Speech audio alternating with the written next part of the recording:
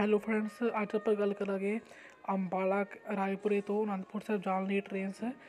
ਇੱਕ ਪਾਰਟ ਮੈਂ ਪਹਿਲਾਂ ਹੀ ਬਣਾ ਚੁੱਕਿਆ, ਇੱਕ ਇੱਕ ਵੀਡੀਓ ਪਹਿਲਾਂ ਮੈਂ ਬਣਾ ਚੁੱਕਿਆ ਨਿਊ ਦਿੱਲੀ ਤੋਂ ਲੈ ਕੇ ਅਨੰਦਪੁਰ ਸਾਹਿਬ ਜਾਣ ਲਈ ਟ੍ਰੇਨਸ ਹੋਲੇ ਮਹੱਲੇ ਜਾਣ ਲਈ ਟ੍ਰੇਨਸ ਅਤੇ ਹੁਣ ਆਪਾਂ ਗੱਲ ਕਰਾਂਗੇ ਅੰਬਾਲਾ, ਰਾਏਪ, ਰਾਜਪੁਰੇ ਤੋਂ ਲੈ ਕੇ ਅਨੰਦਪੁਰ ਸਾਹਿਬ ਜਾਣ ਲਈ ਟ੍ਰੇਨਸ ਅਤੇ ਵੀਡੀਓ ਸ਼ੁਰੂ ਕਰਨ ਤੋਂ ਪਹਿਲਾਂ ਮੇਰੇ ਚੈਨਲ ਨੂੰ ਸਬਸਕ੍ਰਾਈਬ ਨਹੀਂ ਕੀਤਾ ਸਬਸਕ੍ਰਾਈਬ ਕਰ ਲਿਓ ਤਾਂ ਕਿ ਇੱਦਾਂ ਦੀ ਹੋਰ ਵੀਡੀਓ ਤੁਹਾਡੇ ਤੱਕ ਪਹੁੰਚਦੀ ਰਹੇ। ਅਤੇ ਸ਼ੁਰੂ ਕਰਦੇ ਹਾਂ ਅੱਜ ਆਪਣੀ ਵੀਡੀਓ ਨੂੰ।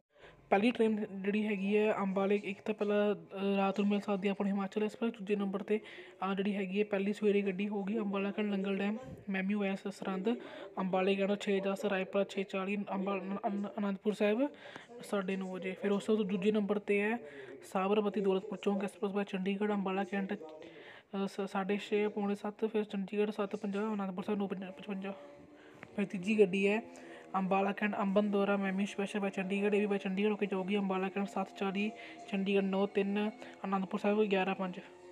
ਫਿਰ ਤੀਜੀ ਨੰਬਰ ਤੇ ਗੱਡੀ ਹੈਗੀ ਹੈ ਸਹਾਰਨਪੁਰ, ਊਨਾ, ਹਿਮਾਚਲ ਮੈਮੀ ਹੋਇਆ ਰਾਜਪੁਰਾ ਅੰਬਾਲੇ ਕੈਂਟ ਤੋਂ 8:35 ਤੇ, ਰਾਏਪੁਰਾ 8:51 ਤੇ, ਅਨੰਦਪੁਰ ਸਾਹਿਬ 11:36 ਤੇ। ਫਿਰ ਉਸ ਤੋਂ ਬਾਅਦ Ambala cantt Nangal dam MEMU special via Raipura ਅੰਬਾਲੇ ਕੈਂਟ ਤੋਂ 11:35 ਰਾਏਪੁਰਾ 12:05 ਅਨੰਦਪੁਰ ਸਾਹਿਬ 2:53 ਤੇ ਇਹ ਪਹੁੰਚੂਗੀ। ਉਸ ਤੋਂ ਬਾਅਦ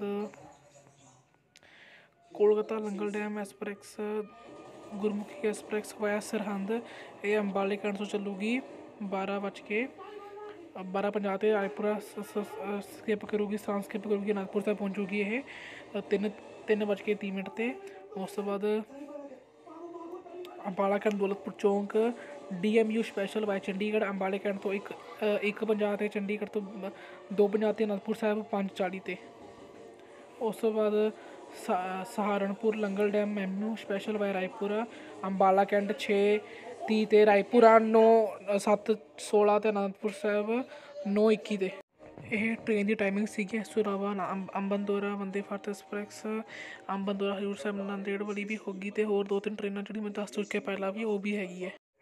ਤੇ ਅੱਜ ਦੀ ਆਪਣੀ ਵੀਡੀਓ ਇੱਥੇ ਤੱਕ ਹੀ ਸੀਗੀ ਬੜੀ ਚੰਗੀ ਲੱਗੀ ਹੋਵੇ ਤਾਂ ਲਾਈਕ ਐਂਡ ਕਮੈਂਟ ਜ਼ਰੂਰ ਕਰਨਾ ਤੇ ਸਾਰਾ ਸਾਰਿਆਂ ਦਾ thanks watching this video thank you